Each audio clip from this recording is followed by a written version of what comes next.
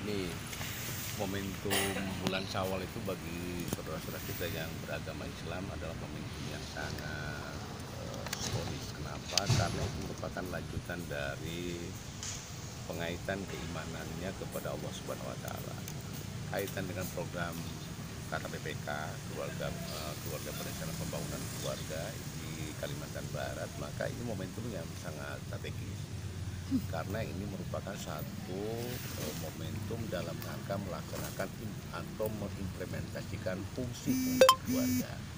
Keluarga itu adalah modal dasar, keluarga itu adalah modal utama pembangunan sumber daya manusia Indonesia yang nanti di, akan melanjutkan pembangunan uh, masa yang depan.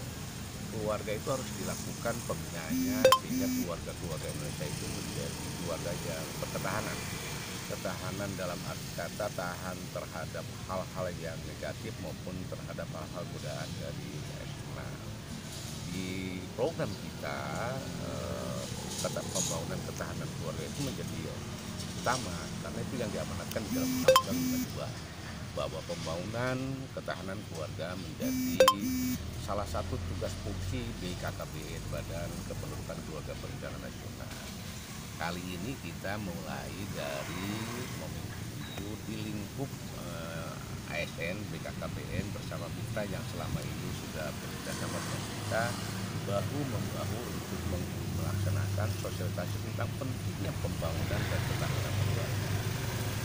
Eh, terutama dalam hal mengimplementasikan fungsi yang pertama dari delapan fungsi keluarga yaitu fungsi agama sehingga keluarga-keluarga yang Republik ini di Kalimantan Barat ini bisa melaksanakan fungsi agamanya di dalam keluarganya masing-masing.